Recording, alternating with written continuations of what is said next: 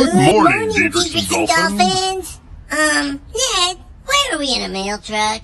Because today's holiday is called Neither Rain Nor Snow Day.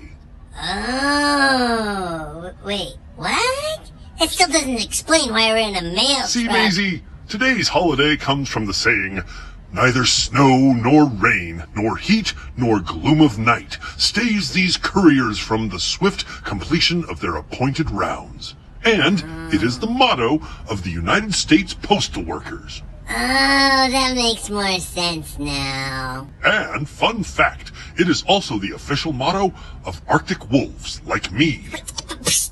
You noodlehead! Uh, You're not an I Arctic am wolf. too an Arctic wolf, and that's how I know how to drive. You don't know how to drive. What?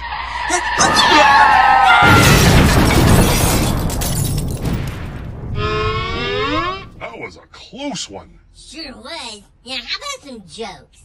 What did the envelope say to the stamp? Oh, I don't know. Stick with me and you'll go places. okay, okay. What do you get when you cross a dog with an elephant? I don't know. A terrified postal worker. Oh, why are postal workers so good at telling jokes? oh, I don't know. Because they're all about the delivery. Oh, the delivery of the jokes. All right, let's send it back to the Diedrichson crew. Have, a great, day, everybody.